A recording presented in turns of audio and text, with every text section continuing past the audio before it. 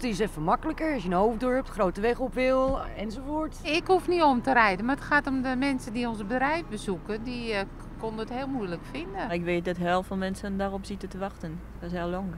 Maar het is een mooie brug geworden, dus de moeite waard. Het heeft betrekkelijk lang geduurd. Ja, het zou wel nodig geweest zijn.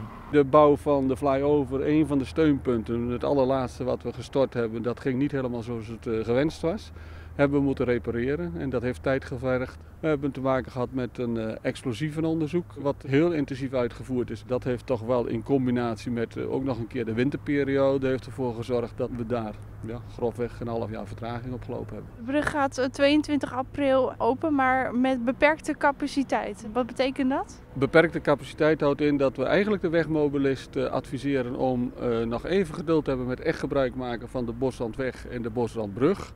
Totdat het kruisingsvlak wat achter deze brug ligt, de Fokkerweg en de Schipholdijk en de Brugstraat, dat dat gebied ook klaar is en de flyover in gebruik genomen is, dan is iedereen hier weer hart, van harte welkom op het uh, project. Er zijn twee nieuwe extra rijstroken uh, bijgekomen en die, die zijn voorbereid op extra capaciteit, op extra aanvoer nog vanuit uh, de Bosrandweg, uh, ja, vanaf de Bosrandweg naar de A9 toe. Ik denk, en daar is al studie naar gedaan, dat de Bosrandweg op zich nog uh, een, een, min of meer een bottleneck wordt. Maar we krijgen straks een hele nieuwe verkeersafwikkeling door die complete nieuwe N201. Zodanig dat het hier ook, ook op zich al rustiger wordt dan dat het hier was.